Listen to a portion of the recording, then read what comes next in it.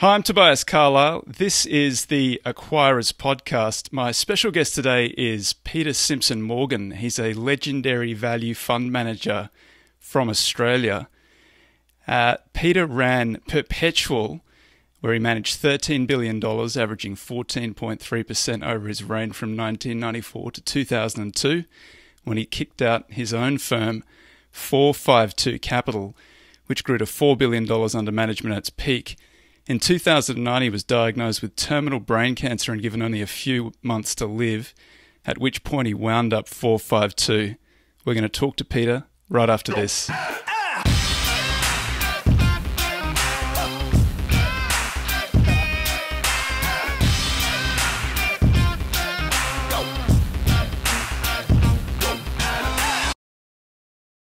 Tobias Carlisle is the founder and principal of Acquirers Funds. For regulatory reasons, he will not discuss any of the acquirer's funds on this podcast. All opinions expressed by podcast participants are solely their own and do not reflect the opinions of acquirers funds or affiliates. For more information, visit acquirersfunds.com. G'day, Peter. How are you? Good, Toby. Good to speak to you. Uh, tell us a little bit about your investment strategy. For folks who don't know, you're a value manager, but I always say value is a very broad church. So how do you how do you describe yourself as a value manager? Um, I think the you know I think the, the closest approximation is somewhat similar to Peter Lynch, um, but in the context of the Australian market is is very cyclical based. Um, it's it's the index itself is based around uh, banks um, and mining stocks, depending on what point of the cycle you are with with those two um, companies. Um, there are some fast growing companies down here, to use the Lynch phrase, but nowhere near the um, nowhere near the context that they are in the US. I think uh, one of the interesting things about the US, the Aussie market that I've noticed over the, the years is that half of it is financials, which is banks and insurers, and about 15 to 30 percent is uh, basic materials, and so that leaves only a very small sliver that's sort of uh, what traditional uh, Peter Lynch or Buffett style investors might go after. So, how did you handle that uh, when you were investing those big sums of money? Well, it's you know it's also there's there's a couple of other dynamics playing a part as well. Um, you know, when I started at Perpetual in 1991, um, superannuation or the retirement savings system of Australia had just um, had basically just come into force, and uh, you know in rough terms, it was about $100 billion in superannuation. Um, today, that figure's approaching $2.5 trillion, and there's been extraordinary growth. Um, when I started at uh, Perpetual, um, you know, everyone wanted to be a stockbroker. Um, and, you know, obviously that gave us a group of us and a break at Perpetual to get into funds management. But um, the funds management industry was just starting. And, um, and when we came together at Perpetual, um, the, the, the, flagship product, the industrial share fund, was around $80 million. And uh, as you said at the introduction, you know, when I left and even today, um, equities at Perpetual are, you know, plus $10 billion. Um, and, you know, so you go from being a small fund manager to being a bigger one. And, and also in the context of back then, the Australian market was somewhat more diverse in terms of the quality of companies. And one of the things that I've noticed uh, over those, you know, the last 25 years is the number of companies listed has also uh, fallen. The quality of those companies has also fallen. And at the same time, the number of fund managers today, we've probably got, you know, around 500 domestic equity fund managers in Australia. As I said, there was probably 20 when I started. What, why do you think that the number of companies has fallen and the quality of the companies has fallen? What's the cause of that?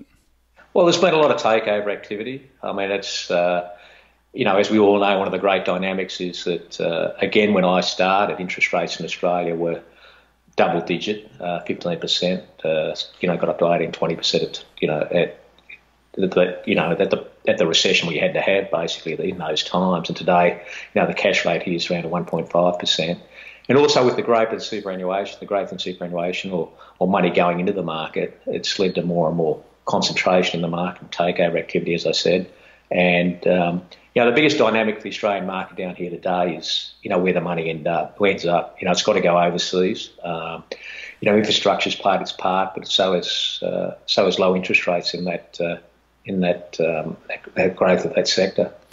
So let's go back to when you first started investing. You were you were trained as an accountant. I was an accountant. Uh, yeah, I, I, was trained as an accountant. I mean, if you go back one step from that, uh, you know, I probably wasn't the smartest kid at school, and you know, you, you, finish school, um, you don't really know what you want to do, and I just sort of had in my mind that, um, you know, if I kept that option open in terms of accounting, um, I'd see where it led, and I did accounting at university. Didn't really learn much about accounting at university. It was only when I did the professional year as a chartered accountant that I really learned accounting, and and from that, uh, I worked for a chartered accountant for for three and a half years, and then um, I saw a job or took a job at uh, a company you might remember down here called BT Australia as an internal auditor. And the only reason I took that job was to perhaps get to New York. And at the time, BT had about 300 people working at it. Um, this is around uh, you know 1985, and financial markets under Labor and Paul Keating were deregulating. Um, uh, foreign exchange was um, was know, the, the, the, currency was floated. Um, stockbroking fixed charges were changing, and it was a it was an exciting time. But as an internal auditor, I'd walked into this uh, organisation that uh, was uh, entrepreneurial, a lot of young people, and was growing very fast, and was effectively taking on the big incumbent um, trading banks and uh, the AMP National Mutual Mutual Societies. And it was so exciting. And I, you know, to be honest with you, I was walking around in, the, in an environment where I was learning as I went along, but I could see that uh, this place was successful. It was going somewhere. And the, for the first time, I'd seen an Australian company actually actually reward or be broken up in terms of profit centres. So, you know, the FX department had to stand up for its, you know, had, had to stand up and be profitable. Every every department and the previous companies that I'd audited in Australia hadn't had, hadn't had anything like that. And as time went on, you know, in that those next uh, you know next year, two years ago, you know, I I had got into my mind that I wanted to try and find the next BT Australia, but I wanted to get into financial markets. And I saw an ad uh, in '87 for a a small ad in a newspaper for a stockbroking firm. Applied for that job and then started as you know as a stockbroker in June '87, and uh, that must have been quite an introduction to. Uh... well, it was. I can still remember going for that job, Toby, in the sense that, to his credit, the, the, the chief financial officer said, you know, pointed to a chart on the wall, and he said to me, I still, still, still can remember him saying it. I don't know where this this market ends, but we're pretty high, and you have to keep in mind that you know stockbrokers are pretty, you know, for want of a better word, a variable business, and you know you may not have your job tomorrow. Well, you know, three months later, as we all know, or four months later, as we all know, the, the markets in October 87, you know, lost 20% in one day. Um, and, and I think, you know, looking back on it and, and remembering it, you know, it then, we then, you know, I then went into a period where, you know, you had to, you had to survive. And even in the early years of Perpetual that, you know, we never really knew whether we had a job the next day. Um, um, for you know two or three years because it was you know they were, they were, they were pretty sour times and you know just talking about 87 for a moment you know I mean um, sorry October 87 um, and I can still remember walking in on that day when the Dow's fallen 500 points it was a, you know it was a Tuesday morning here and whereas a telex coming in from overseas was you know maybe um, you know, a metre long in terms of buy and sell orders, or two or three metres long in terms of buy and sell orders. The, the, the, the, the telex that day was 50 metres long and it was predominantly selling. And, um, and it all went from there. Now, added to that, I probably wasn't the greatest stockbroker in the world in the sense that I, I was never really comfortable selling something that um, um, I wasn't comfortable with. But luckily, um, as as people were retrenched and um, the industry contracted somewhat, I was given an account called Perpetual um, to look after as a stockbroker. And that led to an introduction to a guy called Anton Tagliaferro, who had just gone to Perpetual at the time. And from about 88 onwards, we just we just sort of grew together. And eventually, I went up and joined Anton and another guy called John Murray um, that have gone on to bigger and bigger things at you know in funds management as well, uh, like I did and others have, and we all came together. Uh, based around that, and as I said at the start, you know, when, when we all joined Perpetual, the the funds under management in the industrial share fund were around eighty million dollars, and um, but the importance also with regards to that is that the team that had left had left a portfolio of, you know, under researched, somewhat illiquid, very good quality companies that, um, such as, you know, Brickworks, Soul Pattinson, Gibson Chemicals, Australian Chemical Holdings, uh, Rose, Reckitt and Colman, um, uh, Amalgamated Holdings. Basically, a lot of them were asset plays as I said, a lot of them were under researched, and you know we basically in those days had to go out and do a, uh, you know, our own research. The reason why they were under research is was there wasn't they were great companies, but there wasn't a lot of liquidity in them, and brokers weren't you know weren't encouraged, encouraged to follow them. And that's basically in a, in a roundabout fashion how it all sort of came together. So, how did you develop your your style. So when you, you you inherited the portfolio, and it's pretty yeah. impressive that you can remember all the names in it this many years oh, later. There's a lot. There's a lot, Toby, and that's what I, that's what you know. I keep thinking about it today, you know, and it, and, and I know I know this is a cliche. Look, and people used to ring. I still remember a broker ringing me up and saying, "You do this job for nothing." You know, I, I would have done it, and so would we have all. It was just, it was like walking into something. Um, you know, when you find something that you love, you know, you, it, it we, we, loved it. But, you know, at the same context, we were going through the recession we had to have. You know, on the other side of that, I can remember, you know, quite vividly, ANZ and Westpac, the two major banks, in a lot of trouble. They were going for all money and uh, in 91, 92. And, you know, there's ups and downs in it. But the beauty of that, the beauty of what we walked into is that we'd gone through the 87 crash, or the companies had, and they'd survived. Um, and if we, you know, if we would have started in early 87 as fund managers, we may well have got caught up in the you know the boom of the you know the entrepreneurs like Alan Bond and Christopher Skase and that sort of stuff. But you know there was a lot of things that came together, and then you, you, you're trying to put it all together. And you know again, if you know if you want to talk about books at the same sort of time, I think you know Anton, myself, and maybe John all read you know Peter Lynch's One Up on Wall Street. It all sort of came together. It all sort of came together in a funny sort of way. So that's what made you Lynch style investors. You read that book early on in your career and tried to implement that?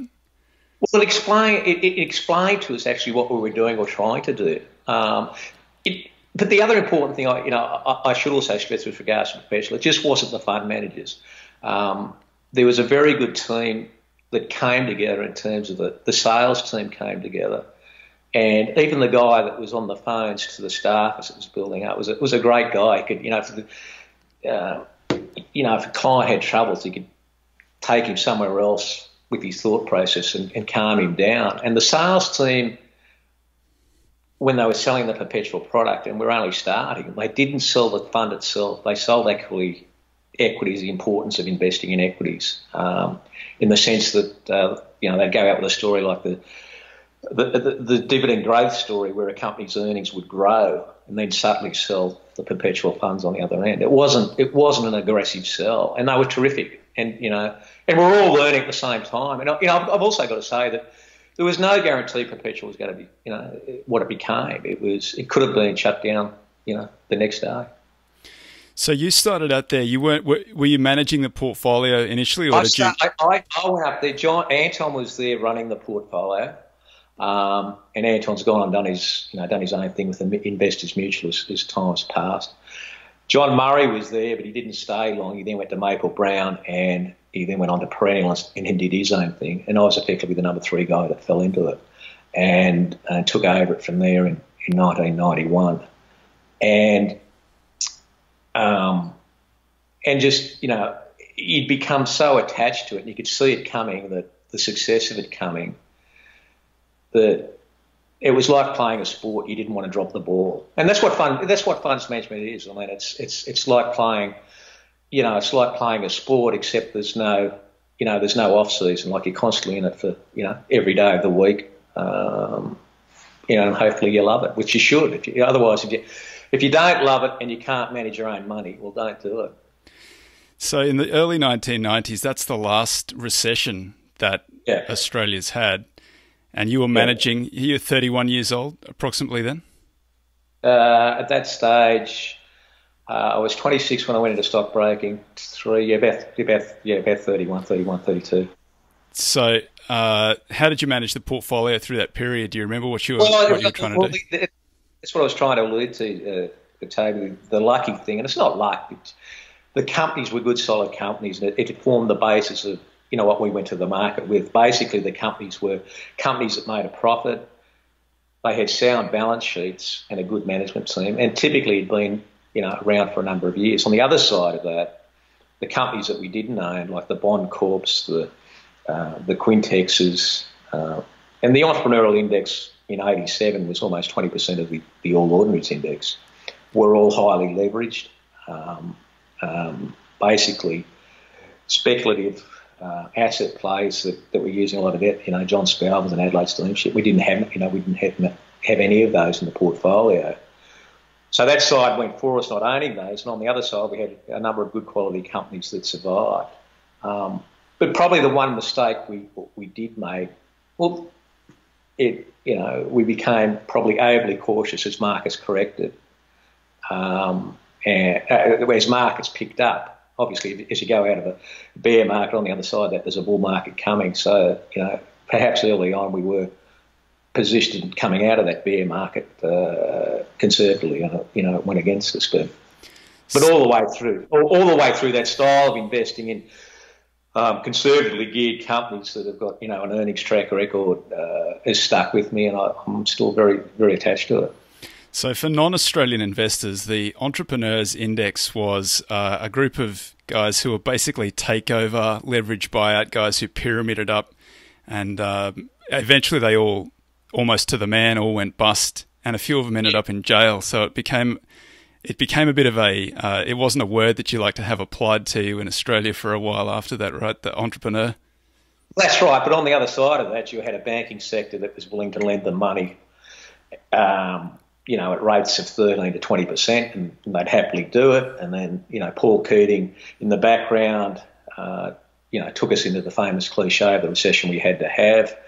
And you know, eighty-seven had happened, so the asset prices were falling as well. Um, and on the other side of that, interest rates were up and becoming, you know, we're a long way away from 13 to 20 percent interest rates today, and it's and it's perhaps interesting to think back on that in the sense that you know maybe you know a marginal rise with a lot of leverage in terms of volume, you know, may have the same dramatic effect. So you you you start out running there, and and you get a pretty you start putting up a pretty good track record, and you get some flows into. Do you, do you know how? Do you remember what sort of flows you were getting through that period? Well, again, when, when you go into a bear market, you not only get flows, but you also get markets falling and, and outflows. And I can, you know, and, and they, they, don't sound like big figures today, but you know, when the markets were falling, um, you know, three or four percent a month or something as they were, you know, we were getting twenty to thirty uh, million dollars a month in a month, which you know, which which was good, and it, gradually the fund started growing and we were getting the you know the net inflows. And I should also say at the time it was an environment where I had a lot of respect and we had a lot of respect for some of our competitors. It was a time when guys like Greg Perry at uh, Colonial First State, uh, probably the best fund manager I've ever seen, uh, was starting out. David Paradice was starting out, and another guy that's no longer with us, Robert Maple Brown, was also there. So out of those 20 fund managers that were around at the time, you know, five five to maybe seven of them were, were ones that you really respected. And on the other side of that, another five or seven were ones that were copying all the outflows that weren't going to survive. And I think the surprising thing as well is that it took a long time for people to realise that superannuation was coming, funds under management was uh, could only grow, and there was legislative growth in it, and it probably gave us time to all fine tune ourselves and you know and, and run with it and and in a time where interest rates were falling and the attraction to equities was growing, it uh, you know it helped. That's that's how, basically how an industry was built. So you ran um, Perpetual, and I, it, it, topped out, according to some of the articles that I read, it topped out at about thirteen billion dollars Aussie under your management. Yeah, in domestic in, in, domestic equities it did. Yeah, um, but, uh, but, but with me, uh, and we had to with that growth we had to do it. We had to do a few things, and uh, um, and, and a lot of a lot of the things were. were I don't want to sound arrogant saying this. We're, we're actually quite smart at the time in the sense that. Um,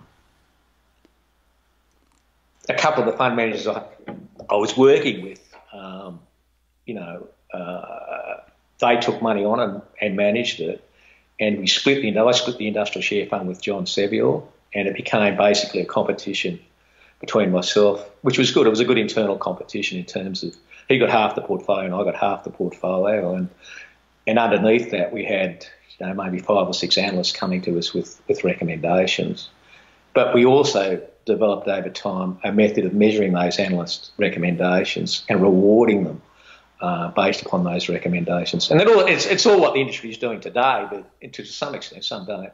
But it was, uh, you know, it was, was entrepreneurial sort of stuff. And as we grew, uh, you know, again, not trying to be arrogant with it, one of the things that we learned when we were managing, you know, larger and larger amounts of money, it's, you know, you can't always move, particularly in somewhat of liquid stocks, um, the money around. So we became, as time went on, you know, more and more aggressive in trying to direct companies um, in terms of their thought process and took companies on at AGMs where we thought they were doing stupid things and uh, became quite public about it, but only for the reason it was being used as a tool to to to try and protect our position. And you know, I can still remember we took AMP on at an AGM uh, after they had listed, they, you know, as most of companies, a lot of Australian companies have done, they, they, they were spending the free cash flow and making stupid acquisitions overseas. And we were one of the first companies that went to an AGM and, you know, and, and voted against a, a remuneration plan. We're quite vocal as to why and, and led to change in terms of that executive team. And, and I was one of the ones that that, led, led, led that process. But it then encouraged others within Perpetual to do the same sort of thing. And I remember Matt and John both, and we all came together and went down that path to try and protect ourselves in terms of our position as we grew. And um, for no, as I said, for no other reason that you know we always viewed that we were managing other people's money, and we were trying to perform for those people. It wasn't our money that we were managing; it was other people's, and we had to protect it. So that's uh, maybe an early form of activism in Australia. Was anybody else doing anything like that? Or you guys introduced that? Well, we didn't introduce it for the sake of introducing it. We had to try and. Uh, we were. Uh, I know it, it sounds. I hope it doesn't sound reckless, but we were trying to learn as we were. We were learning as we, we went along, uh, Toby. I mean, you know, I mean, if you, you know, I, should also say, look, I think one of the things that gets missed in fund management is you're not going to get every call right. And if you're only if you get if you're getting seven out of ten calls right, you're doing a fantastic job, right? And the three that you're not getting right, you've got to try when you're managing more and more money, you've got to try and work out a way of trying to save that position or making it up elsewhere. And and, and a lot of times these companies weren't bad. They weren't bad companies. They were solid companies, but they were being badly led. And uh, and you know, and as I said, this is this is in the 1990s. Yes, we were probably at the forefront of that, but it wasn't. It wasn't for the sake of, of you know, to try and be an activist. It was it was was what we were trying to do to to do the job we were doing for other people. So, uh, in 2002, you launched your own firm called 452 Capital. Yep. Where does the name 452 come from? Well, it's like, you know, um, when you go out should, let's just go back a step. At the same time that superannuation's been introduced, um, union-based industry funds have also uh, been created, and and today they control, um, you know, effectively a third. I don't know the exact figures, but let's say a third to fifty percent of the the pool of money um, of domestic equities in the Australian marketplace. So if there's 30% of that 2.5 trillion going to domestic equities, the industry funds have got control of that. And they all grew basically when superannuation was introduced. And uh, one thing that's underplayed a lot uh, in the Australian market, particularly with regards to the industry fund, their success, is that one of the things they got right is they backed uh, by consultants, perhaps the best fund managers in Australia. And I'm not talking about myself and saying this, but other guys like you know, David Paradice and, uh, and the like. Uh, they were very successful in that, and, and that drove their performance. So that was in the context of, and I was managing money, a lot of retail money, and I was also uh, involved in, uh, in managing money for, for some of the industry funds, and and perpetually got the you know, got the 13, $13 billion in domestic equities. Let's say that's the figure. At the same time, you know, John and Matt Williams were, um, you know, becoming successful in their own right, and there'd, there'd been a, um, you know, there was something to fall back on. Uh, it was it wasn't just me, and and at the same time, boutiques in Australia were starting, you know, were available and starting to um, be an area of perhaps having a go or setting up your own boutique. So I, so I went out with a guy called Warwick Negus, um, and we founded 452. And the name 452 comes from um, a cricketer, the Australia's best cricketer, Sir Donald Bradman's highest cricket score. And like anything, Toby, you're trying to find a name for a company, something that you know you can attach to. And as I said to you at the start, you know, one of the reasons we chose 452 as the name is because it's um, it's it's a sporting score. It's a very high score. You know, Bradman had you know had been very successful, and as I said to sport. Um, you know, I believe you know funds management's a lot like a sport, and and and so we chose four five two as the name, and and the the the other the other side effect of that is that the actual you know the you know Bradman was um, you know obviously someone with a lot of integrity and um, and it's what we wanted to you know to base ourselves on. Bradman for uh, for non-Australian listeners, for my US listeners, is the Babe Ruth of yeah. probably yeah. global cricket. So he averaged ninety nine point nine four, which is right. because he got out for a duck on his last uh, the last but time he zero on his last zero on his last at bat. Know what a duck is either. but he, he if he'd averaged 100 that's that's like averaging 400 in uh, in baseball. And there's only a handful of guys who've done that. So he, nobody's actually ever done it. Nobody's nobody's ever got a better average than Bradman before or since. So that's 99.94 is an incredibly high score. And 452 has been bested but it's taken a long time for that to and happen. The, 400, the 452 was not out too, Toby. So that's that's right. so so anyway, I mean that's that's how it came together. I mean, it, you know, it was something we were comfortable with, and it, you know, it was good. And but you know, if we explore that a little bit more, I mean, um, so we set up four five two. Um, I think I think another thing that you know should be noted is it's obviously if you're a fund manager um, you're successful at what you do. Otherwise, you wouldn't be doing it or you wouldn't be surviving.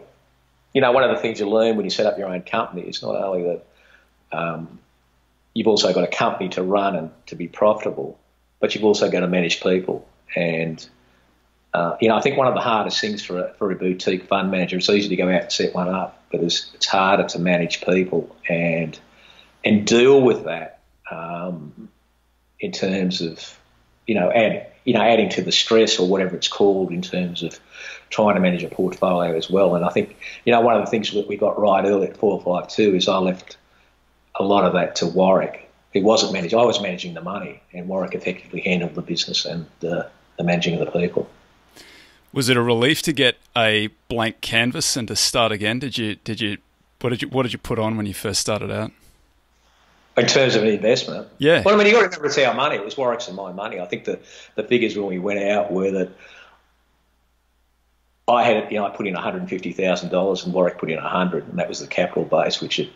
Uh, you know, I can remember over Christmas, I think, you know, this is going to work, or we're going, it's not going to work because there was no guarantee the money was coming to us, right? I mean, Warwick had signed, you know, for us, and I, you know, obviously signed off on it. It signed a lease on a you know, uh, on part of Australia Square, which a floor of Australia Square, which which wasn't cheap. Um, and it's also in the context, like I think the other thing that should be made is that when we were at Perpetual, and when I started at Perpetual, there was no bonuses. Like I think I left And again, it sounds a lot of money to, um, you know, when you're talking billions and that, or you're talking in, you know, when I left Perpetual, I think I was getting paid, you know, four hundred, you know, four hundred thousand dollars a year or whatever, uh, with with you know with you know maybe hundred percent bonus over the top, and um, and that's what I left on. But I had to back myself to go out and do it. I would have regretted not going out and doing what I did, but it could have all, could have all fallen over the next day. I mean, I know those figures sound bad. I'm trying to. I'm just telling you the story. That's basically it. That's all I want. no, it's just I just I, I feel you know sometimes you feel like you're talking big big numbers, and it's it you know I as I said at the start, it was never the money that attracted us. It was not, it, it, and it never has been. It was a love of what we were doing, and uh, and and you know, a lot of it turned out, you know, a lot of it, it turned out very well for us. No, I understand completely. And I, not, I don't, I don't want to apologise for that. I just, I also want to say a lot of luck plays its part, but um, you know, at times if you don't back yourself, you never see where you end up either. And so you, you, you did eventually get some pretty good flows into four five two, and I was. I was actually I was a junior lawyer when that four five two listing came through, and I remember the prospectus filing uh, yeah. coming across my desk and reading through it, and very interested because it was Bradman's highest score, and I knew that at the time you you got some flows and you started building that business up. How how, how was that period of time?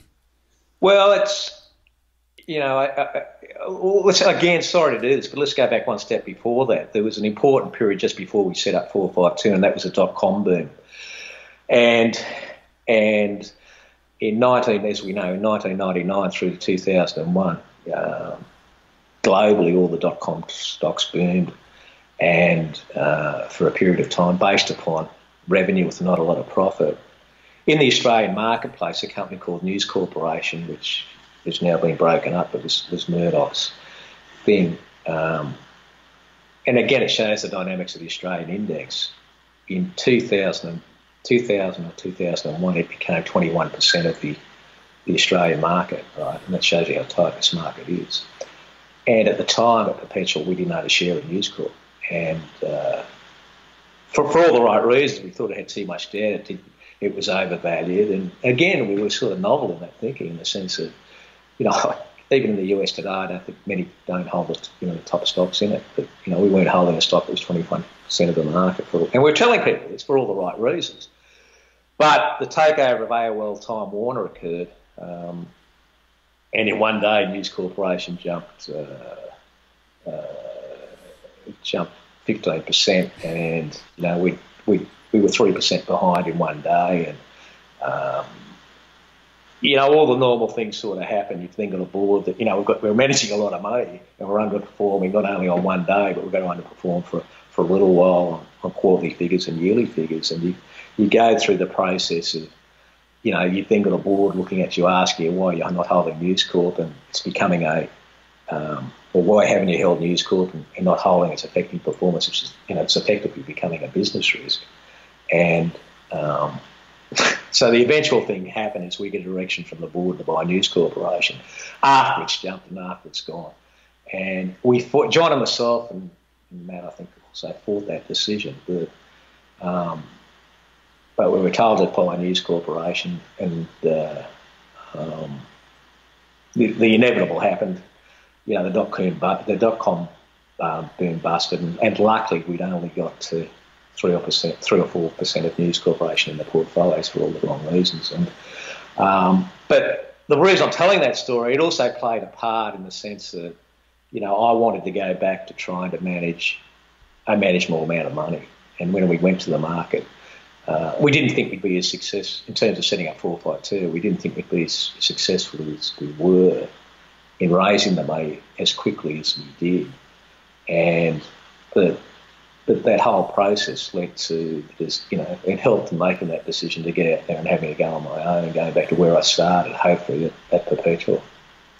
If that all makes sense, which, which, which it probably doesn't. But I, I did want to talk about the, the dot com boom in the sense that it, it also helped Perpetual as well because it obviously turned the other way. And we, like we did in, in the early 1990s, um, we're positioned when the eventual you know bust came in a sector of the market, and then then when we set up four five two and progress, we then go obviously into the into the you know the what culminated in 2008, uh, being the global financial crisis, and the same sort of thing happened again, um, but took a lot longer this time in terms of you know highly highly indebted companies, particularly in the US, uh, with a lot of speculation, eventually blew up.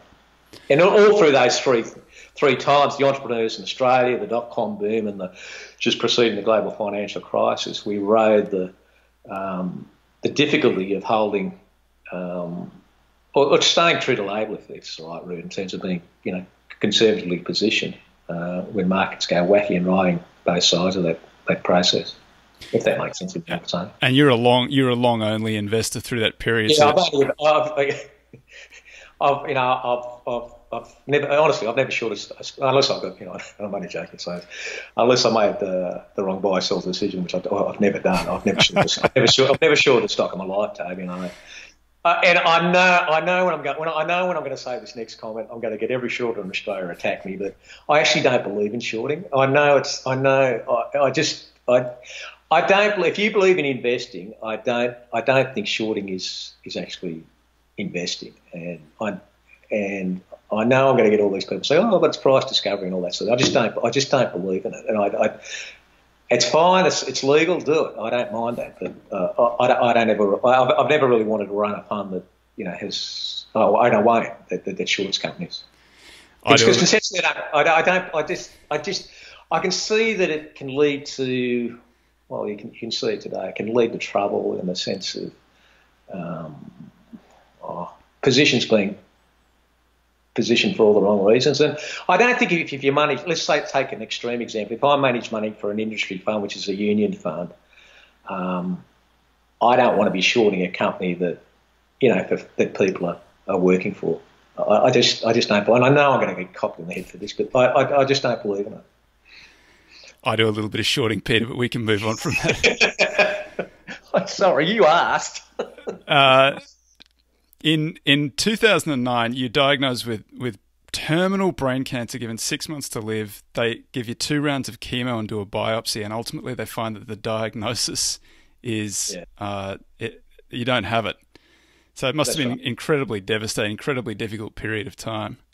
Ultimately, yeah, well, it's a lot. Yeah, I mean, I mean, it's also important. It's, important, it's also important to put that in. A, you know, I've been told so many times to write a book on the whole thing, and I, you know, uh, maybe one day I will. But um, you know, there's more there's, there's more background with regards to that. Um, you know, I'd been up as a you know a fund manager for 20 years in a competitive environment, and um,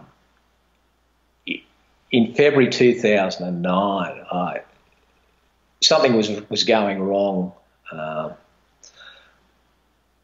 uh, mentally, in the sense that I was you know, I was very depressed. I was very, uh, I was burnt out. I mean, uh, um, um, and one thing led to another. And, you know, when I was going through that whole process, um, um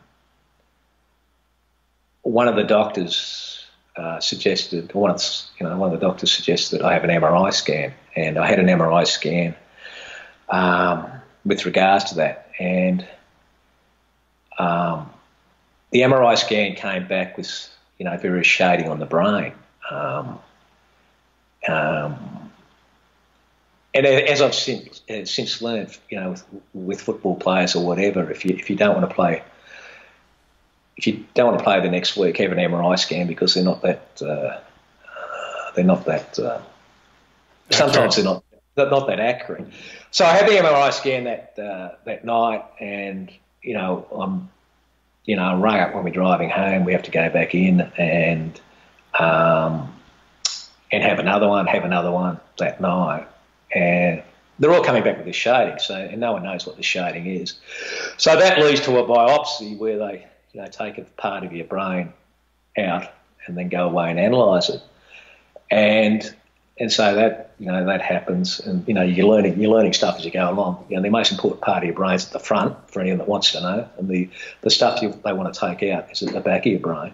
Um, you know, because the front of the brain controls, you know, obviously your sight and, other key important things. So you have that biopsy. It goes to a pathologist who I never met, and they cut they cut the the, they cut the, bi- the biopsy. And in the background, they're also um, putting the picture together with regards to, um, you know, circumstantially what you know what I'm going through, and the biology comes back, it's cut, and um, basically the cut is wrong in terms of a diagnosis. And I was diagnosed with um, a rare form of brain cancer, um, and given, as, as you said, given you know six months to live, and you know told to get your affairs in order, uh, going on chemo, um, and you know. Uh,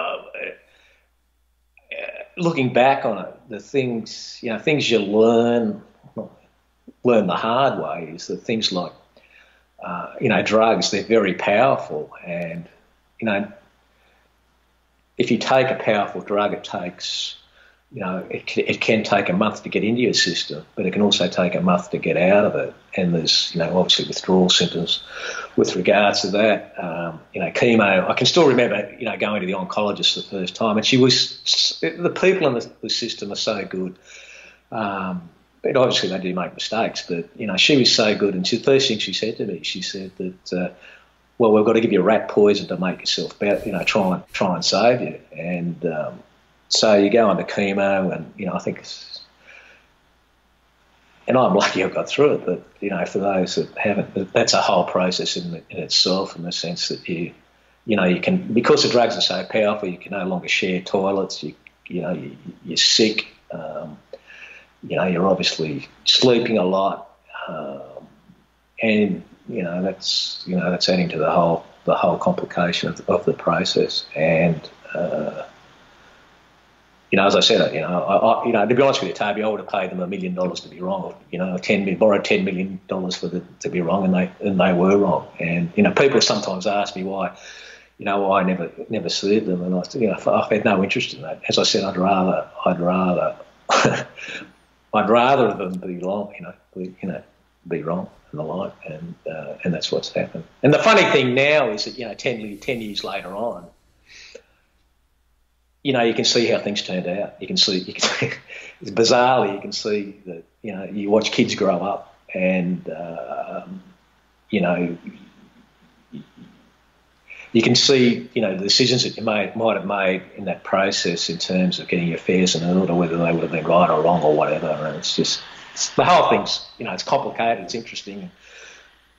Thank God you can look back on it.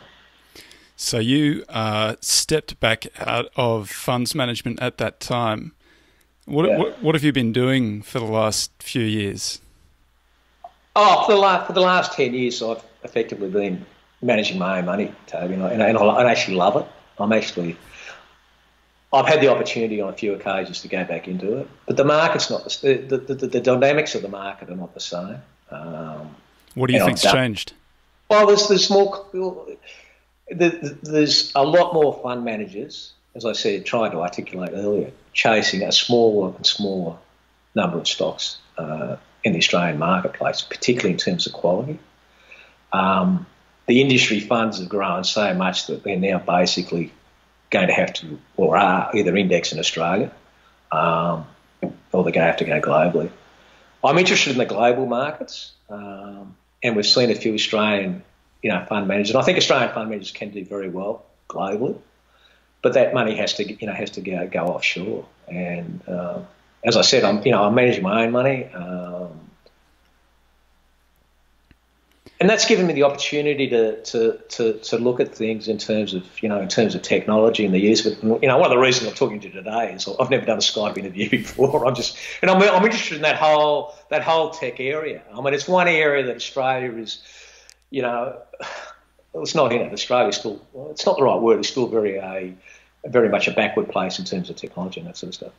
Well, I think the Atlassian guys have done fairly well as one of the um, one of the few that's got out listed on the Nasdaq.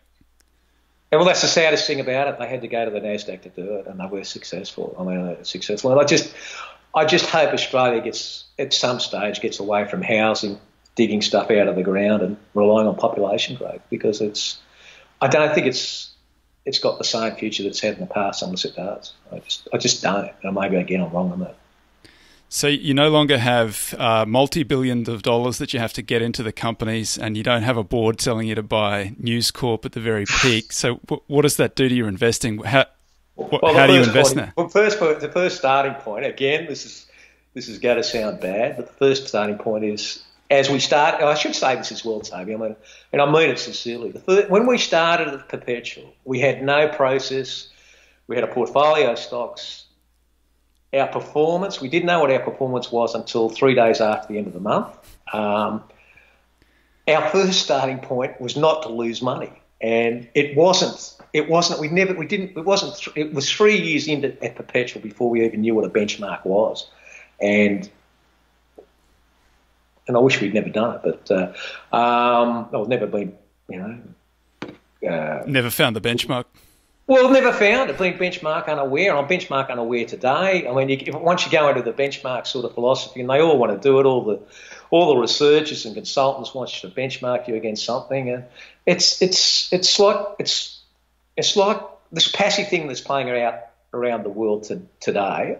And I'm not just saying this because I'm active and I'm a stock picker.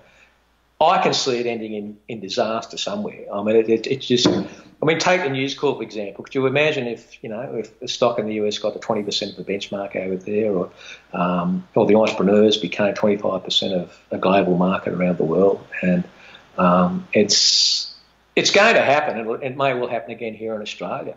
I mean, once you go into, you know, once you start getting benchmark, you get, you know, you, have got to find things like tracking error, which I, to, to, this day I still don't know how you calculate, but um, uh, and Sharpe ratios or whatever they are, and it's not, it's not, it's not true stock picking. You, you, you then, so if I take that a step further, when you know when we were at four five two, we were, you know, we were getting performance figures on a basically on a minute by minute basis, and it's the pressure associated with just watching that performance is just so stupid and so so ridiculous. It's it's what it's basically what funds management's become, and um, so I'm not, you know, I'm investing money where I think I want to and where I, you know, I should. And as I said, given that this is my money and it, it should be the same when you're managing other people's money, my first port of call is I don't want to lose it. But the trouble is in the funds management industry, you benchmark to a benchmark, so it's not, it's not, it doesn't, it doesn't mean you, you, your first point of call is not to lose money. Your first point of call is to outperform a benchmark, which means you could lose money if markets go down, but you can be rewarded because you're down seven percent and others are down, you know, fifteen percent. And the client is actually losing money and unhappy. And I think it's just it's it's become so much tied to that that investors are no longer well, fund managers are no longer investing perhaps the way they they should or want. Do you still? Fo- it does. Yeah. Do you, do you still follow a Peter Lynch style? Are you still? Well, yeah, in the context of an Australian market. I mean, it's not. You know, uh, I mean, if you look at if you look at Lynch's style, you know, you had the, you had all those categories, well, those five categories, and you know, obviously Australia's got a lot of cyclicals in it, uh, as we talked about the banks and uh, the mining stocks. I mean, the banks are interesting at the moment in the sense that they are cyclical, obviously cyclical, but they've had a period where um, interest rates have come down. There's been a housing boom in Australia, and we're sitting in a because of you know accounting policies. We're um, we're sitting in a situation where the bank, bank bad debt charges going through the profit and loss account are, are almost zero.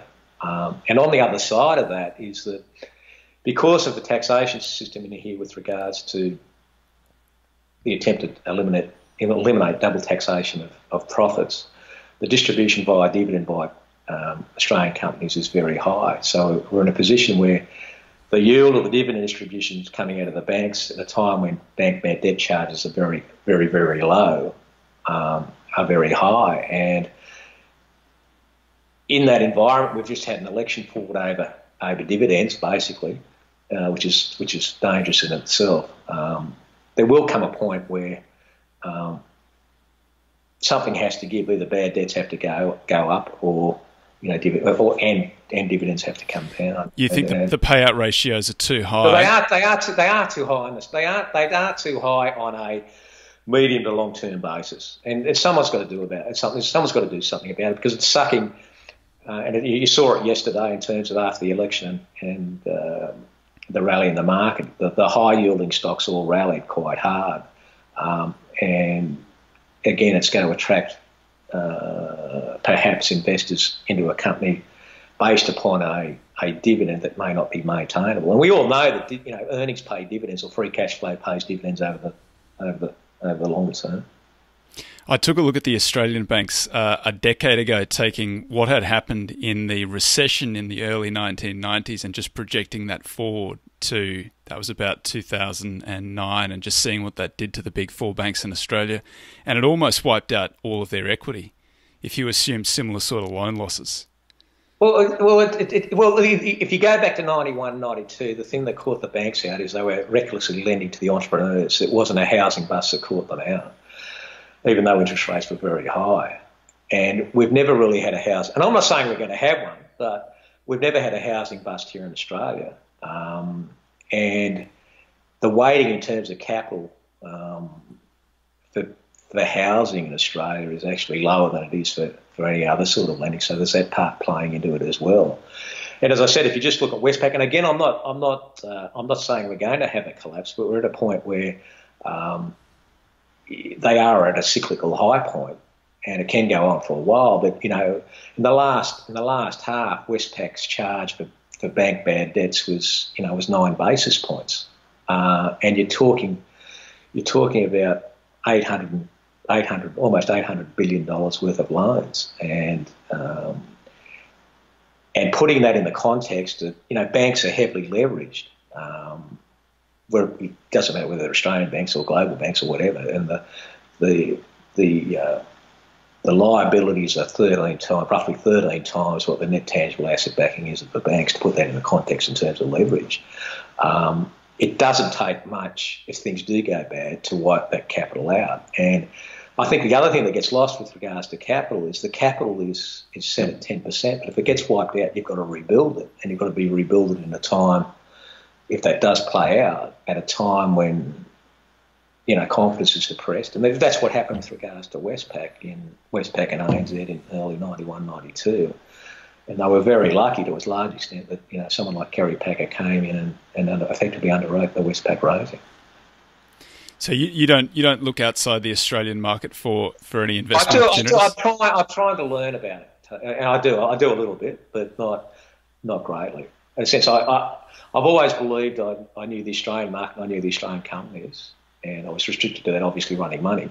Uh, but I'm trying to learn more and more. Not not so much learn, but uh, you know, get a feel for the, for the overseas markets more and more. Any anything interesting that you've bought recently, or that you're looking at that you you're prepared to share?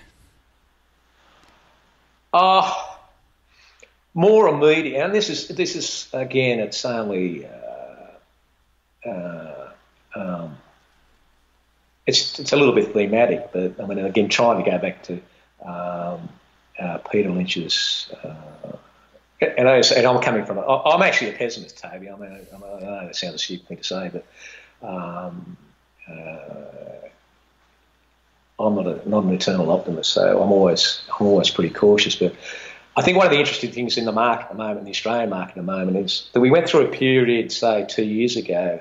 Uh, where a lot of in- listed investment companies came to the marketplace um, uh, and listed. Um, and like a lot of things, when there's a lot of them listed at the same time, um, opportunities get th- thrown up, you know, two or three years later. And all, you know, I'm not articulating it properly, but there's a number of listed investment companies there that are trading at, you know, particularly global ones that are trading up to 15% uh, discounts to the hard the hard underlying portfolios, and that's that's one of the areas in the last you know couple of weeks that I've sort of been you know redeploying some money. I know that sounds very basic, but um, yeah, I, I, yeah, yeah. I actually at the moment I am I'm actually quite uh, cautious on markets, given that you know obviously you know Wall Street and the like trade trade wars to one side. Uh, are at pretty high levels. Valuations are pretty high. You've got a lot of unicorns coming to the market that, that don't make a lot of money and probably won't. So it feels like it's very late, late cycle. And we're in an environment where interest rates around the world you know, in a lot of places have never been lower. We've got negative interest rates that, you know, are accounting for, you know, a lot of um, a lot of global capital allocation. Um, and on the other side of that, debt globally is is very very high. Um, um, in a funny sort of way, Australia's, despite its skew towards banking to a less extent towards mining, I don't think is is is as badly placed as some of the places around the world in terms of euphoria and in terms of debt. If I could put it that sort of analysis. The, the Australian market's only just got back close to or just over its 2007 peak. Do you, do you have any thoughts on the valuation well, of the market? There's another dynamic. There's, there's another dynamic that we touched on um, before. Um, the, the one big thing and the one big differential between the Australian market and, say, the US market is that um, dividends as a percentage of profits, uh, their payouts in Australia are a lot higher. Um, so, and the dynamic of the Australian market not only is it skewed towards banking and mining, but there are a lot of listed companies that are operating in oligopoly slash duopoly monopoly positions, i.e., as Peter Lynch would say, the, the mature companies um, uh, or stalwarts, but they're paying out a lot of their profits in dividends. So the accumulation effect on the market in Australia compared to the US is a lot greater, um, whereas the capital growth in the US market is a lot greater. Now, you know, I think we're at a, at, at a very important inflection, inflection point in Australia in the sense that um, if Australia is to have a future and not be based just around banking and mining, companies have to have to retain earnings and start to grow, and there has to be a marketplace for uh, uh, entrepreneurial or you know tech, to use an example, technology companies in Australia to grow. And it, it, it's being wasted in the context of, as I said, the retirement savings system in Australia at the moment is around about $2.5 trillion. And it's tipped to grow perhaps by the end of this decade to you know, 4 or 5 trillion. And there's a big pool of money there.